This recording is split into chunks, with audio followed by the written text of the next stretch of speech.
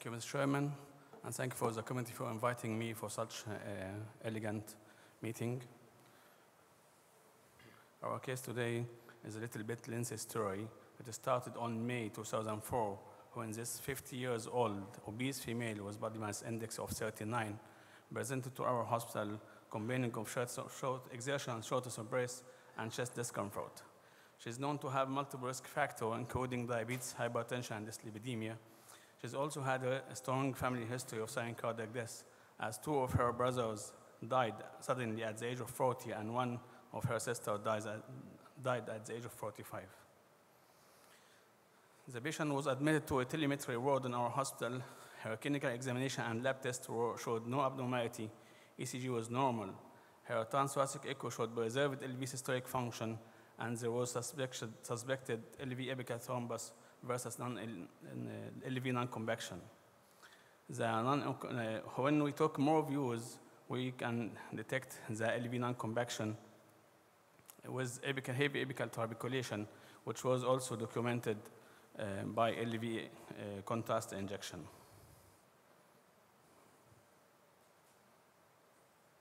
This is the heavy apical trabeculation, which uh, goes with the LV non-compaction. And here we can appreciate the finger-like shape which isn't in the apical area of the LV. The dobutamine stress test was done for the patient and showed reversible ischemia in her LA territory. And while her stay on the uh, telemetry ward, she developed an attack of non-sustained VT. On the next day, coronary angiography was done and showed two vessel disease was 90% lesion, LAD and ramus intermedius. Both of them were successfully managed by PCI with very good angiographic results.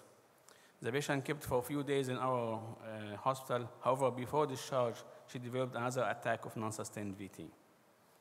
So in summary, this is elderly female with multiple risk factor, preserved LV function, LV non-compaction, a strong positive family history of silent cardiac death, and recurrent non-sustained VT.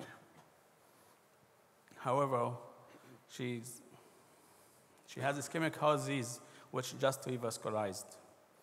So do we think that she's really need for AICD insertion? At that time, we don't have electrophysiologist in our center, so we referred her to another center for second opinion. The electrophysiologist decided to insert an AICD, which was inserted in June 2004. And here's, we can see the AICD. Over the next seven years, she had recurrent uh, hospital admission to our hospital complaining of non-ST elevation myocardial infarction. Actually, she admitted four times. Three of them were managed by PCI, and the fourth one, we referred her for cardiac surgery, where coronary angiography bypass graft time three were done successfully.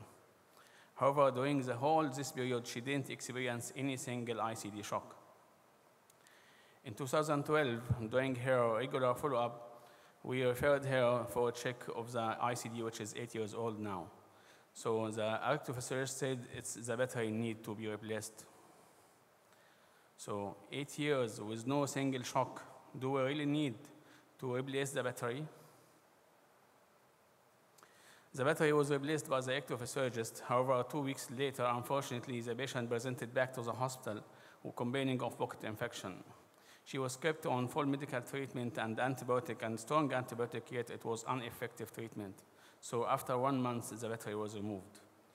However, the patient kept coming and going for the next two years, complaining of tiny discharge infrequently coming from the pocket side.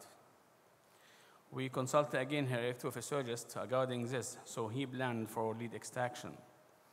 We referred her to the hospital where transthoracic echo and transesophageal echo were done for her for her assessment of ICD lead, and we, they found that there is a large mass attached to the uh, ventricular lead of the ICD. This also was confirmed by the TE. So the patient was kept on medical treatment including antibiotic and anticoagulant for a few weeks, and the TE was repeated after that. But the mass is still there, even it's getting bigger. So the heart team decided to remove the lead, to do lead extraction surgically. The patient was taken to the OR for surgical lead extraction on 29th of January 2015. The electrode was, was surgically removed with the support of cardiopulmonary bypass.